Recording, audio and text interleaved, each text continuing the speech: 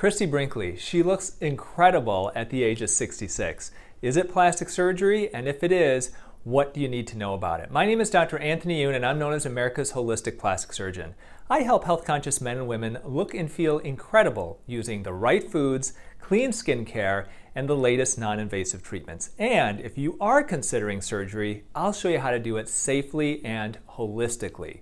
And today on this episode, we're going to focus all on Christie Brinkley and her plastic surgery.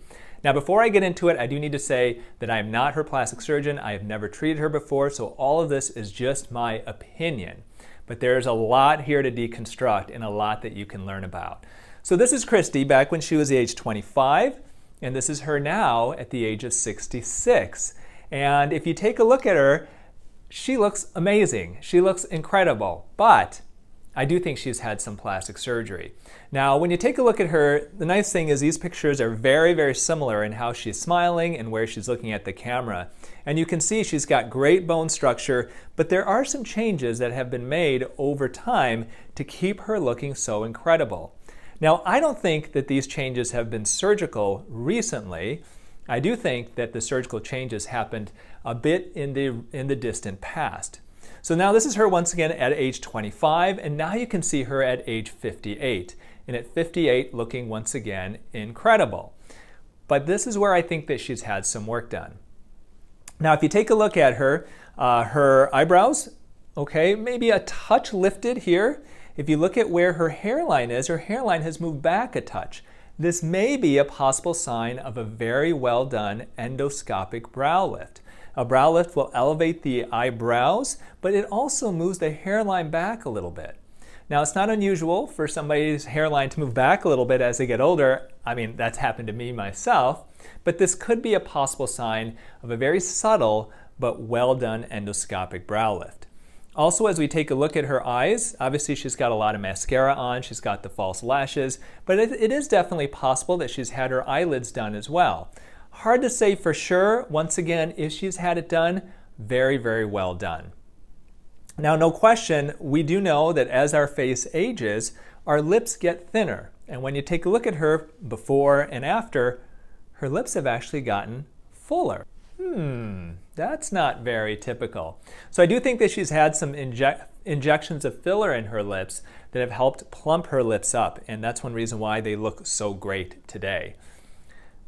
Otherwise, when you take a look at her, and this is something that's very subtle, okay, the sign of a good facelift is not a face that looks like it's in a wind tunnel. It's not a face that you look at and you say, oh wow, look how tight her face is. The sign of a good facelift is a person who has a very sharp neckline and a sharp jawline without jowls, and they're in their late 50s or 60s. And so this is her at age 58, looking with looking incredible with this fantastic sharp jawline. So I believe sometime between these two pictures that she underwent a really well done lower facelift. She also most likely has had some injections of filler or more likely fat into her cheeks as well. When you take a look at her at age 25, she's got nice full cheeks, making her look, helping her look real youthful. Well, she has retained that volume in her cheeks at age 58. Very unusual, okay? It can be natural, but in her case, I do bet that she's probably had some injections of either injectable filler like Restylane uh, Lift or Voluma, or maybe she's had injections of her own fat. Uh, there's some other minor things that we can talk about, um, but let's do that on our next picture here. So those are some of the surgeries I think that she's had done. Now, in 2017, she's admitted to some non-surgical treatments, Xeomin and Ultherapy. So what is Xeomin and what is Ultherapy? Well, Xeomin is basically uh, a competitor to Botox. Xeomin helps to smooth the wrinkles of the forehead, of the crow's feet, and of the glabella, which are the frown lines that you can get between your eyebrows. And she has actually admitted uh, in an interview that she's had those, uh, that, that treatment done, which is very common. Five million people every year have Botox or, or a competitor type of injection done. And that's one reason why when you look at her before, uh, when she's at 58 and when she's at 66, she's got a very smooth forehead, she has very little crow's feet, she doesn't ha not have those angry 11 sign between her eyebrows, and I think that's because of the Xeomin that she's had injected. Well, what is Ultherapy? Ultherapy is an ultrasound treatment that can tighten up skin. And basically what they do is we take a ultrasound device, the same type of uh, ultrasound that helps you to look inside uh, a pregnant woman's belly at a little baby, and you turn those ultrasound waves way up and you focus them into the deep skin. And what you can do then is you can get that skin to tighten up by heating the collagen to a certain temperature. And what that can do is it can take a neckline that's starting to get a little bit loose and it can help to tighten it up. And I think that those are some things that she probably has had between the ages of 58 and 66. She's undergone these non invasive or minimally invasive treatments to keep her looking great. Um, now, just to take a peek, if you look real closely, you can see that at age 66, her upper lip is actually fuller than it was at age 58. And at age 58, if you remember, her upper lip was fuller than it was when she was 25. So, in my opinion, that does show um, a possible likely sign of her have having had some injections of filler or maybe her own fat into her lips, and her lips look great. Um, also, take a look, her face is still nice and full. At age 66, this is not very common unless somebody is significantly overweight, which obviously she is not.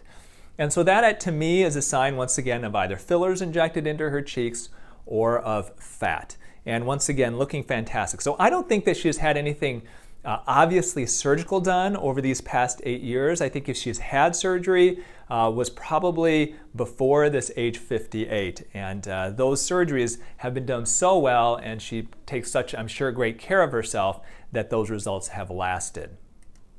So, what can we learn from Christie's plastic surgery? Well, number three lesson, I'm going to give you the, my top three, is that small tweaks can make a big difference. Um, you can take a look at her from 25 to 66. Yes, she's, I do believe she's had some surgeries. Yes, some of these surgeries may have been, you know, pretty significant. But when you're talking about a lifetime, she's not one of those who's had so many operations that she looks plastic. And so doing these small tweaks, maybe getting your eyelids done, uh, you know, this year and then 5 years later doing the facelift and then 5 years later, you know, doing the lower eyelids, those are things that a lot of celebrities do because these small tweaks sometimes you can't really tell they've been done until you look at them over the years and say, "Oh my gosh, how do they look so incredible?" So number 2, is that there is no substitute for a good facelift, just not four of them. So, what I mean by this is in order to keep a neckline and a jawline as sharp as she has when she's 25, uh, to look as great as she does at 66, typically that does necessitate a real facelift. Botox isn't going to tighten up the jawline, fillers aren't going to do it, lasers aren't going to do it, Ultherapy is not going to do it. If you really are going to reduce jowls and, and get that really sharp neckline, unfortunately, sometimes you just have to go to the operating room to get that type of a result. Even though it's not for everybody, you know, just to be reasonable and aware of what it can do for you. Now, when I mentioned not four of them, there are some people who've had multiple facelifts. And if you look in Hollywood, you recognize them. Those people who look windswept, they look like they're in that wind tunnel and their face is so tight. It's not like they just had one bad facelift. Most of these, I believe, uh, celebrities have had many facelifts. Okay, uh, two facelifts, possibly. You know, Christie's had two. I don't think she's had more than that, but there are celebrities out there who've had three, four, and even more, and that's when you really start looking unnatural and plastic. And finally, 3D rejuvenation matters. So when you take a look at her, and the reason why she looks so great, and, and the difference between, let's say, Christie Brinkley's result and maybe some of the old, more old-fashioned plastic surgery results, is that her face uh, still retains good volume. And this is something that, um, you know, I actually wrote a seminal paper back in 2004 called the volumetric facelift. And this was one of the first papers that really described the three-dimensional aging process and how the face deflates and how readdition of volume, readdition of fat can really help to keep a nice youthful uh, appearance. And so three-dimensionally rejuvenating, instead of just lifting and tightening, it's the actual addition of volume in a conservative manner, not overdoing it, that can keep her looking so incredible. And let me just show you an example. This is actually a patient of mine. This is her when she was quite a bit younger. This was her before any type of surgery. Her face has gotten a bit thinner, and this is her after addition of volume as well as a lift. And you can see what we want to do is take her and bring her back to here, not take her here and just tighten everything up. We want to add that softness back to her face as well. So it's the same idea as what you've seen uh, with Christie Brinkley.